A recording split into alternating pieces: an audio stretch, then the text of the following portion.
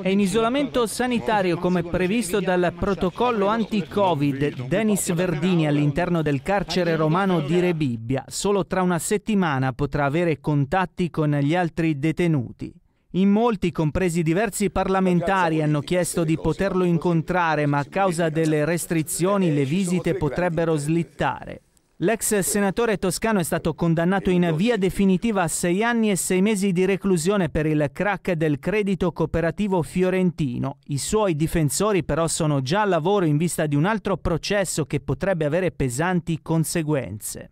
Il prossimo 20 novembre, infatti, in Corte d'Appello a Firenze è attesa, a meno di imprevisti, la sentenza per la bancarotta della società toscana di edizioni che editava il giornale della Toscana. In primo grado la vicenda giudiziaria era costata a Verdini una condanna a 5 anni e mezzo di carcere. All'orizzonte, inoltre, per l'ex coordinatore di Forza Italia c'è anche un possibile rinvio a giudizio nell'inchiesta sul caso Consip, per cui un mese fa ha ricevuto un avviso di conclusione delle indagini preliminari per turbativa d'asta e concussione. Nel frattempo, Denis Verdini ha già iniziato a contare i giorni che lo separano dal suo settantesimo compleanno il prossimo 8 maggio, data in cui i suoi legali potranno chiedere la detenzione domiciliare.